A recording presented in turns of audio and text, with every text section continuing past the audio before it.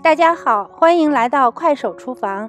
今天我要分享的是香菜炒鸡蛋。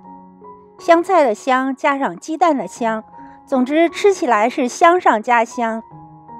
一把香菜洗净、控干、切碎，打入几个鸡蛋，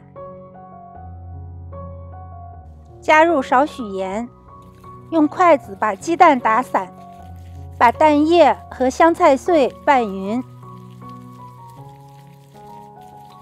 使香菜碎基本上浸在蛋液里。锅里放入约两汤匙植物油，转转锅，使油散开。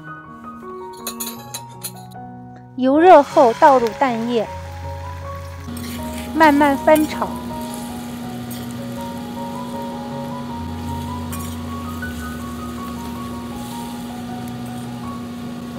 炒至蛋液凝固。再摊在锅底，煎至金黄，闻到浓郁的香味就可以出锅了。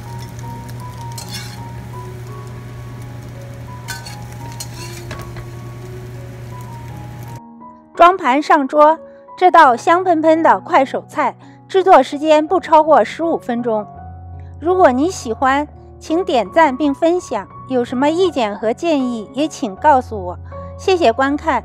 别忘了按右下角的键订阅我的频道啊！下次再见，祝您有个好心情。